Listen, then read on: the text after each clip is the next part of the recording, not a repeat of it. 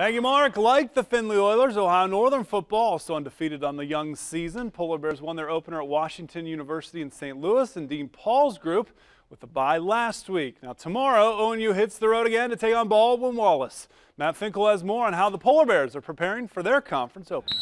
Ohio Northern fell behind 17-0 in the first quarter of its season opener, but the Polar Bears rallied to score 31 straight points and secure a tough road victory. We start the game really slow and it really hurt us in the beginning. And then we came out on fire that second uh, quarter and really took it to them.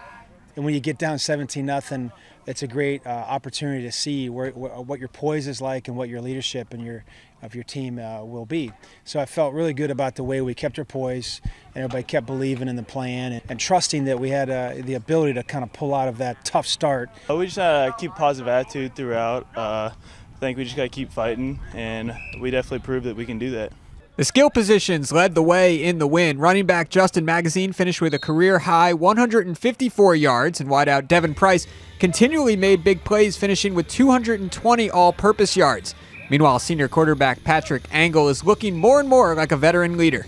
Well, you know, Pat, as an experienced quarterback, you know, now he's he's into his, uh, uh, I guess, 12th game as a starter, and he looked like an experienced quarterback at moments in the game. A couple times he didn't, but overall he played real well, made good decisions with the football. The Week 2 bye allows ONU to take some extra time and work out what did and did not work from Week 1. Practice has been going uh, real great. Uh, energy's still been good. We've been uh, fighting through it and ready to play again. Bye week, what we tend to do is, is try to get healthy. You know, everybody always talks about week one week two. You tend to have some of your best improvement and development. And, and what we talk to our challenge our guys about that is that's only the case if you really work. You're not going to automatically get better just with more time.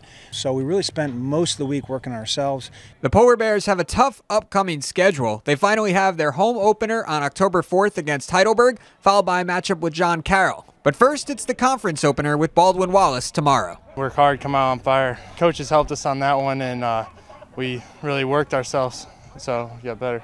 I think if we can get a better start, win the turnover battle, uh, I think we have a good chance to be successful. It's always a tough place to play. Uh, you know, they have a great tradition. They're always going to play hard. They're always going to be well prepared. So we know it's going to be a tough challenge, but hopefully one that we can make the improvements necessary to be able to meet that challenge. In Ada, I'm Matt Finkel for the Sports Report.